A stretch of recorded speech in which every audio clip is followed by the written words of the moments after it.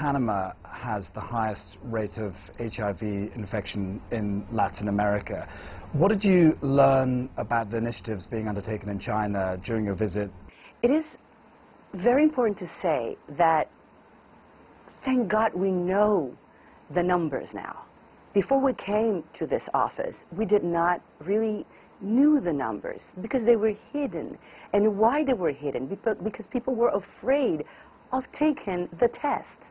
Something as easy and as normal of taking an HIV test.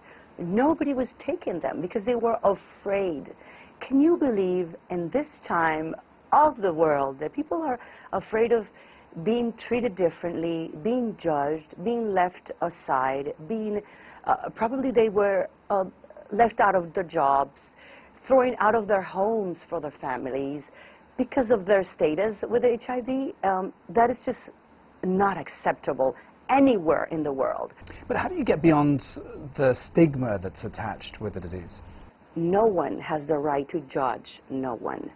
That your health is above anything. That just a simple test can save your life that being HIV positive doesn't mean to be to, to, that you're going to die anymore. That it means that you can be treated the right way. Sometimes you only take three pills, and that's it. You can have a normal life. So it is important for people to get the knowledge and the information right of, of their health.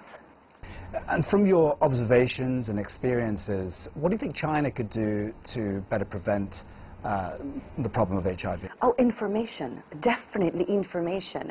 The more you inform the people, the more the consciousness you make around the world about uh, the, the illnesses, about um, the treatments, about the rights of the people. It is very important to, to, to say that, the rights of the people. You have the right to be tested freely with no discrimination, and you have the right to be treated. Um, those two things will save your life.